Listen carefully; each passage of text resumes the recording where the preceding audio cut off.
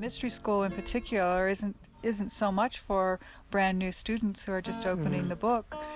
It's more for those that have uh, hit that place of of really feeling drawn to go deeper into what you're saying, like the experience.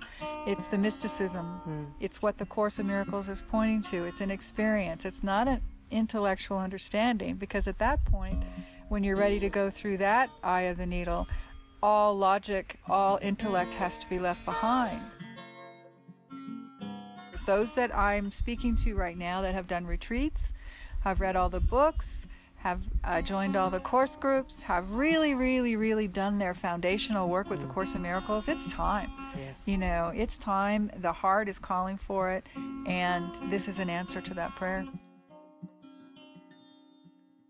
And I love uh, welcoming people here. It's it's it's it's our joy to have people come here to this this place for the first time. It's just mm. it's so mystical, and these these these tall, beautiful cliff walls that line this canyon and the river flowing through it, and just as we hit the dirt road, because it's like eight miles down a dirt road to get here. It's quite a pilgrimage just getting here and we have mountains this way and mountains that way, and we're sitting up on the edge of a cliff. Yeah. Uh, you know, like a lot of the monasteries you see, they're always built high on the cliffs. Yeah. It's really beautiful. and here we are, you know, and it's like, wow. And and there's just this this extraordinary feeling of of presence um, that's that that's just here to support that that nurturing of the presence within, and and so it's simple.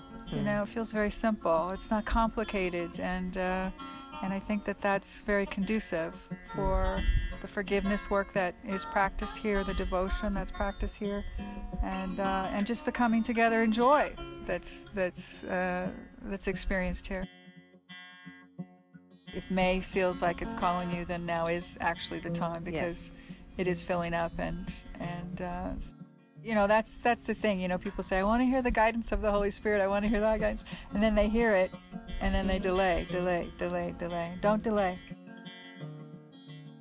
The spirit's calling us together for a reason and it's important it's very important it's it's the most important thing actually and uh, and everything else that seems important is not important you know this call of the heart is what's important and to honor that call